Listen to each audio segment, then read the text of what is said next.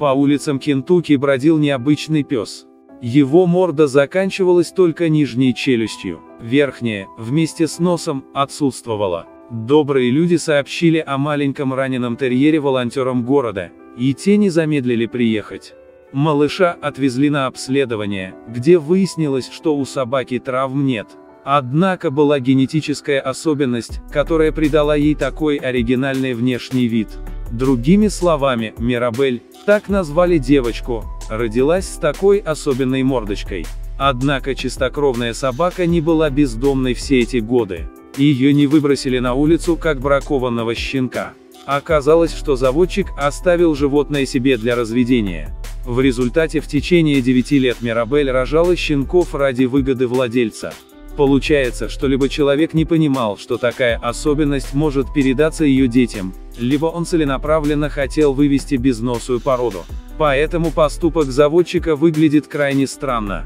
Не говоря уже о том факте, что он выгнал питомицу из дома, как только она не смогла снова стать матерью.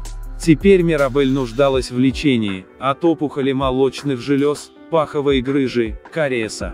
Однако, несмотря на проблемы со здоровьем, девочка была в отличном настроении. После того, как фонд животных Вудстока опубликовал историю о собаке в Facebook, неизвестный пожертвователь перевел на счет фонда 6 тысяч долларов. Это с лихвой окупило все расходы на лечение, плюс достаточно для других приемных питомцев, которые нуждались в помощи. Вскоре к волонтерам обратилась женщина по имени Келли, мать двоих детей. Она сказала, что она и ее семья решили взять необыкновенную Мирабель в свой дом. Хотя сначала дети были слегка шокированы ее внешним видом, но они быстро привыкли к этому. Периодически Келли чистит зубы Мирабель и смазывает ее десна кокосовым маслом, так как они часто пересыхают от контакта с воздухом. Эта удивительная собака также занимается терапией, с ней общаются дети с особыми потребностями. Мирабель учит их оставаться открытыми миру. И не бояться, быть самими собой.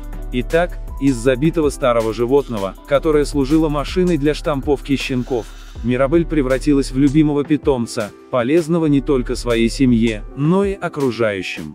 Вот и вся история не забывайте подписаться на канал и нажать колокольчик чтобы не пропускать новые истории спасения.